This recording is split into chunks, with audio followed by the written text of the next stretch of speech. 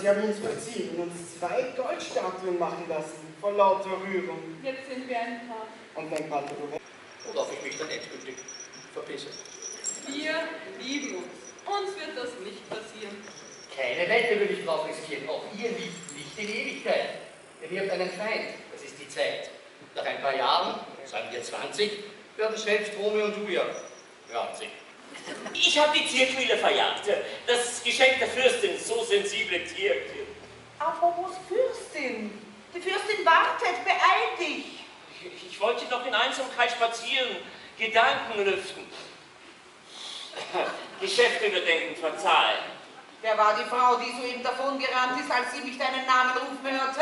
Wo? Gerade eben. Hier? In finsterer Nacht huscht auf den Schatten, den der Mond auf diese Erde schickt. Uns durch den Blick, was uns den Sinn verwirrt, dass wir Dämonen glauben, wo nur Schatten sind. Egal, ich habe keine Zeit für deine Wortgefechte. Rasch ins Haus mit dir. Du stinkst. Wasch dir deine Hände, dein Gesicht. Der brave Gatte gehorcht das Wort. Bianca, ich verzehre mich natürlich nach dir. Ich kann kaum schlafen, wenn du nicht hier bist. Doch äh, die Gefahr ist groß, dass Julia den Betrug bemerkt. Wir können uns nicht mehr heimlich treffen. Warum? Weil du ihre Zofe bist. Das hat euch doch die letzten Male auch nicht gestört. Die letzten Male waren eben die letzten Male, ne? Oh, hier. Was ist das? Ein Rubin. Ein Zeichen meiner Liebe, Hingabe, Sehnsucht und so weiter und so weiter und so weiter. Und ist übrigens sehr, sehr wertvoll. Oh, oh, Romeo. Ähm, Ein Kuss? Meinetwegen. Aber schnell.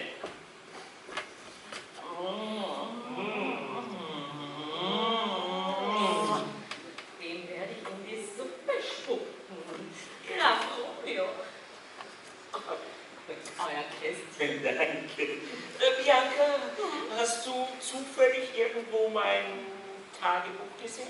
Nein, Ein kleines schwarzes Büchlein, das ich all meine geheimen Gedanken schreibe. keine Ahnung, aber Gräfin Julia darf es auf keinen Fall in die Hände bekommen. Ich will, nein, das würde mich vernichten. Ja, wer will das schon? Niemand. Nein. Äh, hör zu, Bianca. Ich glaube, er betrügt mich. Wie kommst du denn auf so etwas? Er verbringt die meiste Zeit in Venedig. Na und? Ja, natürlich ist er ein vielbeschäftigter Geschäftsmann, der seine Gewürze an den Mann bringen muss.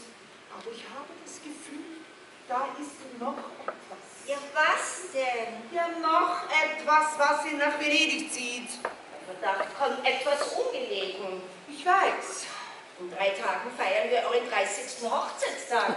Wäre doch eine Schande, wenn wir dieses Fest nicht begehen könnten. Das wäre allerdings eine Katastrophe.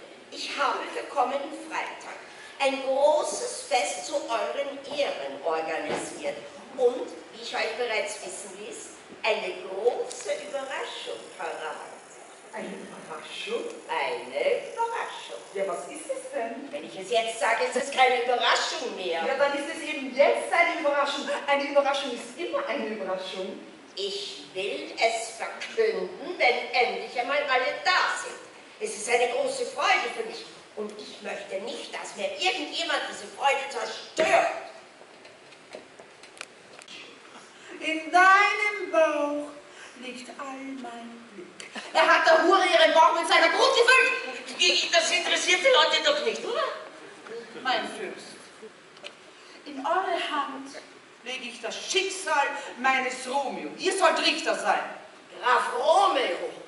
Graf Romeo, da habe ich jetzt gar nichts vorbereitet. Äh, nun gut, ich werde euch verbannen. Äh, Verona sollt ihr nie wiedersehen und es ist bei Todesstrafe euch verboten, hier zu sein. Nun, verteidigt euch. Ja, bitte. Mein Glück, ja, es liegt in ihrem Bauch. Sie ist's, die mir die Zukunft bringt, die all mein Handeln mir bestimmt. Meine Beatrice. Doch ist sie keine Frau, sondern ein Schiff. Ein Handelsschiff, in das ich investiert habe. Es bringt Gewürze her von den Molukken und ich verkaufe sie dann mit Gewinn. Aber wir wollten doch nach Venedig. Hoffentlich erkennt ihn wieder. Ich bin aufgeregt. Plötzlich bin ich aufgeregt. Ja, was soll ich tun? Versteckt euch, dann könnt ihr ihn in Ruhe betrachten. Verstecken, gute Idee.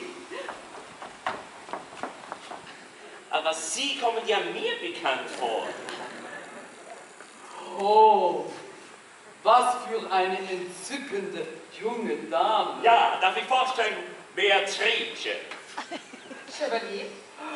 Schlampe! Oh, pardon, eine kleine Schlatz. Hat einen noch selten Profit gebracht.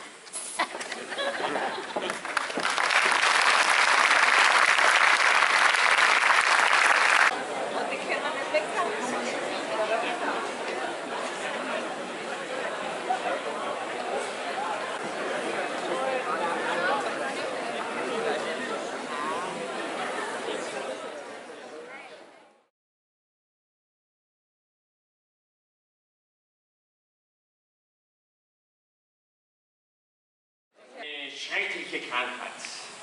Ein Fieber, das den Mann befällt. Und dann machen Männer oft sehr dumme Sachen, wenn sie verliebt sind.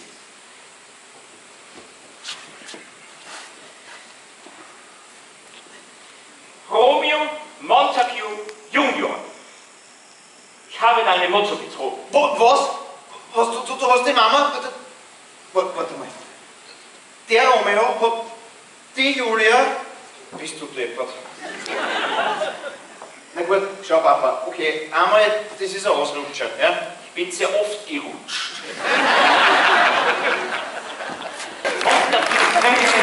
Wo, wo, wo, wo, wo, wo, wo läufst denn du hin? Zu meiner Geliebten und du? Ich auch zu meiner Geliebten. Das ist wird doch nicht dasselbe sein.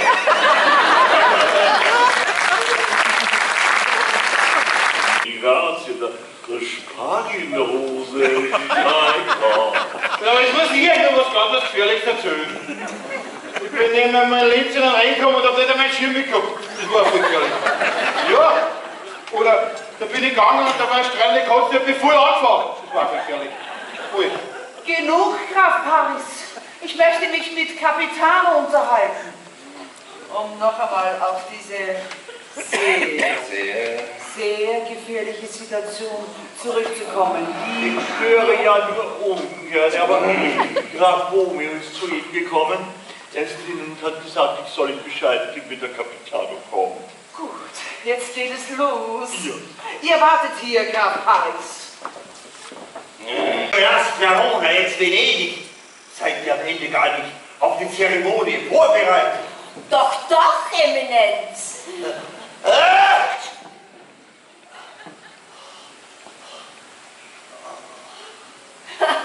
Ich weiß nicht, was ich sagen soll.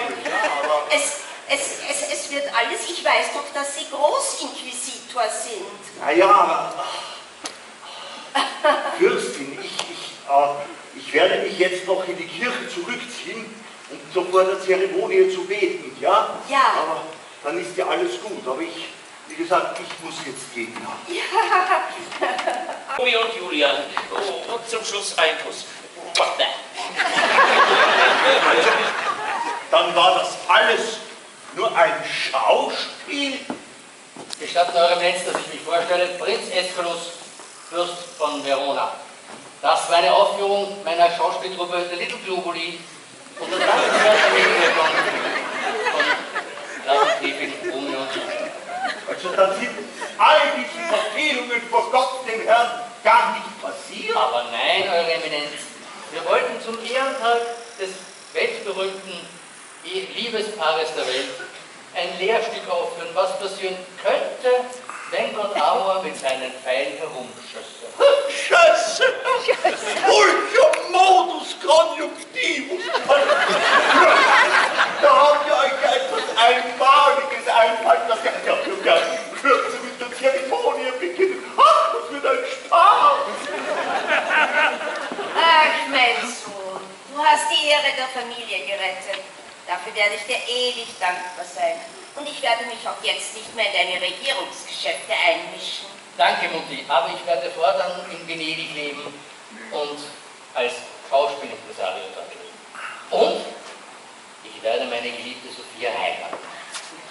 Oh, ja und ich? Bin fortan regierende Fürstin von Verona. Oh, das wird ein Spaß. Aber du darfst nicht abdanken, ich will ja Fürstin von Verona werden. Warum? Ja, eine stumme Schauspielerin, das macht ja keinen Sinn. Ich kann nicht jedes Mal Mirabello küssen. Ach. Meine Geliebte hat ihre Stimme wiedergefunden.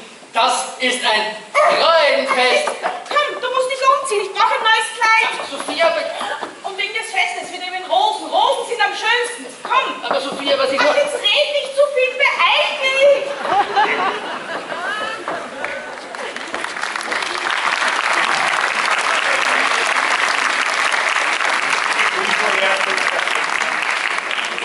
um sich den harten Druck im Kusse zu versüßen.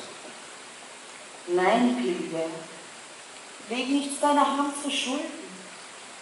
Lass Lippen tun, was schon die Hand verspricht. Der heilige Mund darf die Berührung dulden.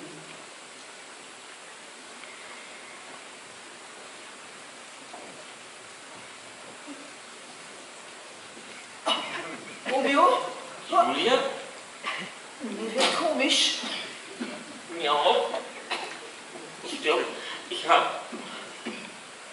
Der Tank wirkt seltsam. Ich habe das Fläschchen von Graf Paris erwischt. Mir wird schlecht. Er hatte, er hatte Gift bei sich. Der Tank wirkt aber sehr schnell. Romeo, ich glaube, ich sterbe. Julia, ich auch. Aber wieso? Es geht, es geht zu Ende. Julia, ich habe nie jemanden so geliebt wie dich. Ich schon. Wen? Okay.